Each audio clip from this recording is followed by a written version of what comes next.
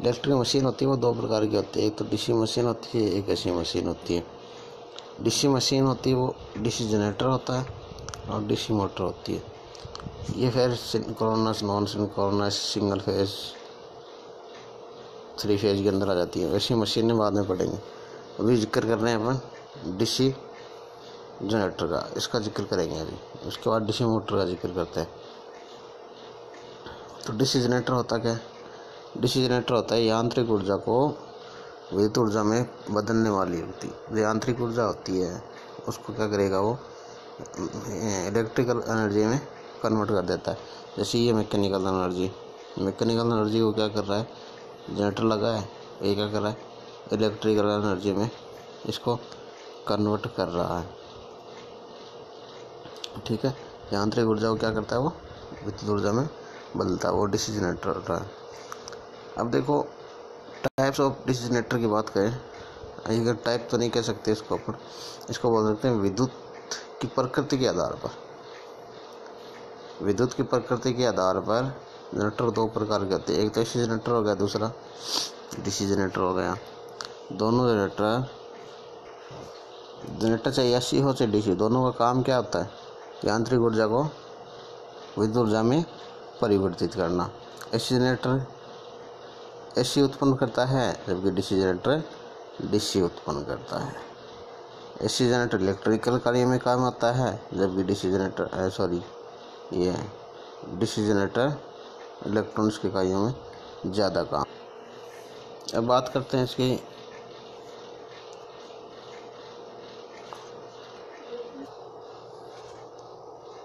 अब types of DC generator तो जिस डीसी जनरेटर होता है वो दो प्रकार का होता है। एक तो परमानेंट मैग्नेट दूसरा टेम्परेरी मैग्नेट जिसमें एक तो परमानेंट मैग्नेट स्थायी चुंबक होती है और एक स्थायी चुंबक वाला होता है। परमानेंट मैग्नेट वाला क्या होता है? देखो, देख, देखते system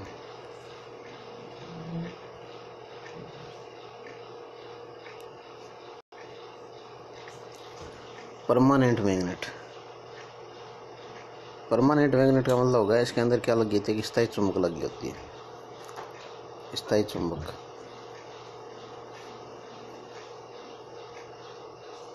स्थायी चुंबक लगी होती है। ठीक है इसके अंदर क्या होता है? स्थायी चुंबक के कारण इसके अंदर स्थायी चुंबकीय फ्लक्स उत्पन्न होता है। जो क्या होता है? स्थायी चुंबकीय फ्लक्स, स्थिर चुंबकीय फ्लक्स आर्मेचर कुंडली में घूमने से उत्पन्न विद्युत वागमन का मान भी क्या होता है? इसके अंदर स्थिर होता है। यानी कि जनितन में उत्पन्न विद्युत वागमन की गति और ईएमएफ दोनों एक दूसरे क्या होते हैं? समानुपाती होते हैं। उपयोग देखते हैं। परमानेंट मैग्नेट का उपयोग जनरेटर का उपयोग कहाँ करते हैं? उपयोग देखते हैं। इसका उपयोग कहाँ होता है? उपयोग देखेंगे तो जैसे मान लो मेगर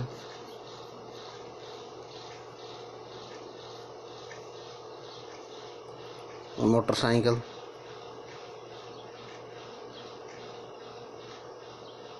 Megger motorcycle. इनके अंदर क्या होता है? परमानेंट मैग्नेट जनरेटर का ही उपयोग होता है। दूसरा अगर टेम्परेरी। टेम्परेरी जनरेटर होते हैं। टेम्परेरी मतलब अस्थाई बोलते हैं टेम्परेरी चीज़। है टेम्परेरी मतलब अस्थाई अस्थाई जनरेटर होता है दो प्रकार का। सामने दिख रहा है। टेम्परेरी जनरेटर होता है टेम्परेरी मैग्नेट मतलब इसके अंदर चुम्बक होती है, वो क्या होती है? अस्थाई होती है। इस प्रकार के जनित्र में चुंबकीय क्षेत्र जनित्र के योग में लगे पोल शू स्थापित कुंडली में धारा गुजारने से उत्पन्न किया किया जाता है। ये समय उत्तेजित या पृथक उत्तेजित दोनों प्रकार के होते हैं। सेपरेटली एक्साइटेड पृथक उत्तेजित, सब एक्साइटेड मुख्य उत्तेजित होते हैं। इसके अंदर क्या होता है? पोल शू सॉरी ये, पोल शू होते हैं। पोल्सों के ऊपर क्या होती है? कुंडली स्थापित करते की जाती है। और फिर इसमें धारा गुजारी जाती है, जिसमें चुंबकीय फलक उत्पन्न होता है। ये दो प्रकार के सेपरेटली और सेल्फ एक्साइटेड और आर्मेचर को इसके अंदर घुमाया जाता है। तो सेपरेटली एक्साइटेड का मतलब हो गया, दूसरे के द्वारा उत्तेजित करते हैं। तो इसकी कुंडली होती है फ़ील्ड वाइंडिंग होती है इसकी जो फ़ील्ड वाइंडिंग होती है। इसकी जो फ़ील्ड वाइंडिंग है, उसको फ़ील्ड वाइंडिंग कौन सी होती है? जो पोल शू के ऊपर लगी होती है। ये पोल हो गए। ये पोल हो गए। इसके ऊपर लगी होती है, ये वाइंडिंग। ये वाइंडिंग होती है फ़ील्ड वाइंडिंग। इस वाइंडिंग को बैटरी या डीसी ज़ारा, स्रोत से इसको क्या करते हैं? उत्तेजित करते हैं। या तो कोई बैटरी लगाते हैं, या फिर कोई डीसी स्रोत से इस वाइंडिंग को क्या करें एक्साइट करेंगे। ठीक है? तो इस नेटर का उपयोग कहाँ किया जाता है? विद्युत लेपन में, धातु शुद्धिकरण में इसका उपयोग किया जाता है। विद्युत लेपन विद्युत लेपन और धातु शुद्धिकरण धातु शुद्धिकरण में पूछते हैं सेपरेटली एक्साइटेड जनरेटर का उपयोग कहाँ किया जाता है विद्युत विद्युत लेपन या धातु शुद्धिकरण में इसका उपयोग करते हैं अब सब एक्साइटेड सब एक्साइटेड जनरेटर तीन प्रकार के होते हैं। सीरीज़ जनरेटर सेल्फ एक्साइटेड जनित्र तीन प्रकार के होते हैं। देखो कौन कौन से। एक तो होता है सेल्फ एक्साइटेड जनित्र तीन प्रकार के होते हैं। कौन कौन से? एक सीरीज़ होता है, दूसरा शंट होता है, तीसरा कंपाउंड होता है। ठीक है? तो सीरीज़ जनित्र कौन सा होता है? वो पढ़ते हैं पहले। सीरीज़ क्या होता है? सीरीज़ जनित्र होता है, देखो। डायग्राम लेके आऊँ आपके सामने। ये होता है सीरीज़ आर्मेचर के साथ। श्रेणी क्रम में ये आर्मेचर हो गया। आर्मेचर के साथ श्रेणी क्रम में फ़ील्ड वाइंडिंग जुड़ी है। आर्मेचर के श्रेणी क्रम में क्या जुड़ी है? फ़ील्ड वाइंडिंग जुड़ी है। तो ये लोड है। ये लोड जुड़ा इसके। सीरीज़ वाइंडिंग प्लस आर्मेचर दोनों के समांतर क्रम में लोड जुड़ा होता है। तो इसकी करंट देखते हैं। I A armature current I A armature current हो गई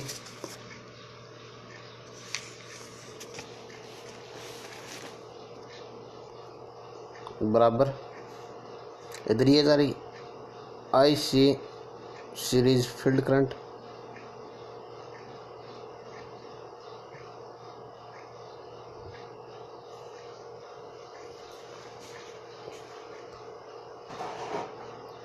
I C नहीं आई ई है।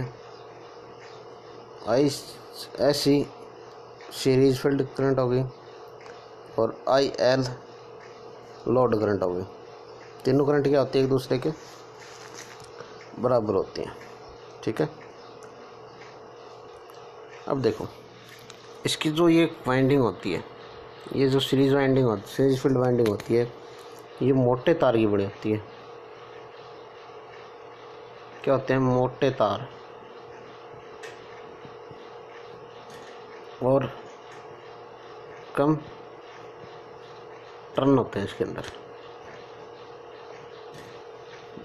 मोटे तार होते हैं, कम टर्न होते हैं, जिसके कारण इसकी स्पीड क्या होती है, बहुत ज़्यादा होती है, इसलिए इसको बिना लोड के नहीं चलाया जाता। ठीक है? इसलिए इसको कभी भी बिना लोड के नहीं चलाया जाता। दूसरी है संट जनरेटर।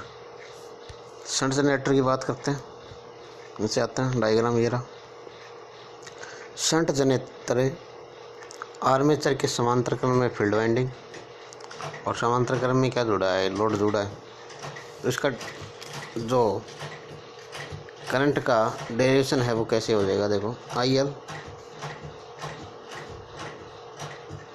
आई ए करंट निकली इससे आर्मेचर से आई ए बराबर क्या हो जाएगा I S H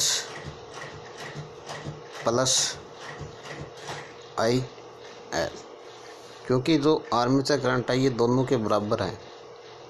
shunt current और लोड करंट, दोनों के बराबर क्या होती है? आर्मेचर करंट होती है।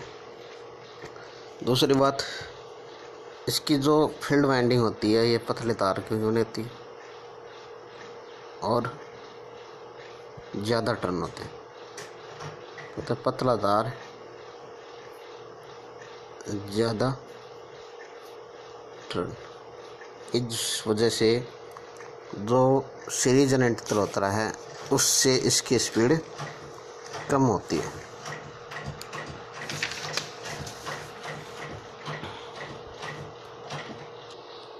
तीसरा है कंपाउंड जनित्र कंपाउंड जनित्र फिर दोनों का मिक्स सीरीज़ जनित्र और संट जनित्र का दोनों का मिक्स रूप होता है कंपाउंड जनित्र। एक होता है लॉन्ग संट, दूसरा होता है शॉर्ट संट। कंपाउंड जनित्र होते हैं दो प्रकार लॉन्ग संट और शॉर्ट संट। फिर लॉन्ग संट दो प्रकार के होते हैं कम्युलेटिव डिफरेंशियल और शॉर्ट संट भी दो ही प्रकार के होते हैं कम्युलेटिव और डिफरेंशियल थोड़ा सा आपको डायग्राम के माध्यम से समझाते हैं।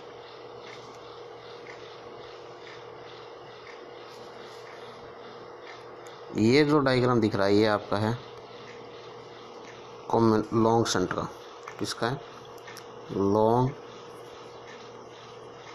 shunt long shunt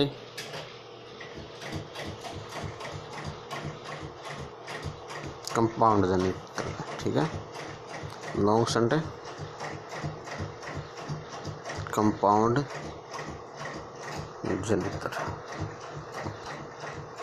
इसमें क्या होता है कि आर्मेचर के श्रेणी क्रम में जो वाइंडिंग जुड़ी है सीरीज़ फ़ील्ड वाइंडिंग जुड़ी है। इन दोनों के समांतर क्रम में संट फ़ील्ड वाइंडिंग जुड़ी होती है, ये तो होता है लॉन्ग संट दूसरा होता है शॉर्ट संट शॉर्ट संट जो जनित्र होता है, वो क्या करता है? वो करता है नहीं रहा यार वो क्या होता है, देखो, जो संट फ़ील्ड वाइंडिंग होती है, वो आर्मेचर के समांतर क्रम में जुड़ी होती है। जबकि सीरीज़ फ़ील्ड वाइंडिंग के समांतर क्रम में नहीं जुड़ी होती। ठीक है? ये है आज का, धन्यवाद।